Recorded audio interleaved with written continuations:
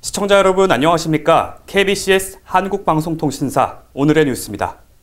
용인시는 고양시 명지병원에서 치료받던 관내 82세 코로나19 확진자가 지난 11일 오후 10시에 사망했다고 12일 밝혔습니다.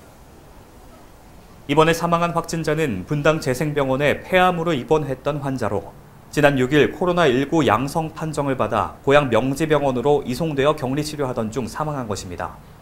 직접적인 사망 원인은 장출혈에 의한 다발성 장기 부전으로 전해지고 있으며 장래에 관해선 정부 지침에 따라 11일 오전 2시 고양시 국민건강보험공단 일산병원에 안치됐으며 서울시립승하원에서 화장될 예정입니다.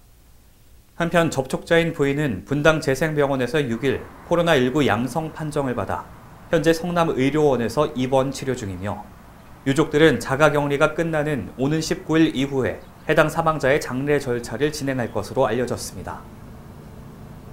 지금까지 KBCS 뉴스 김현수였습니다.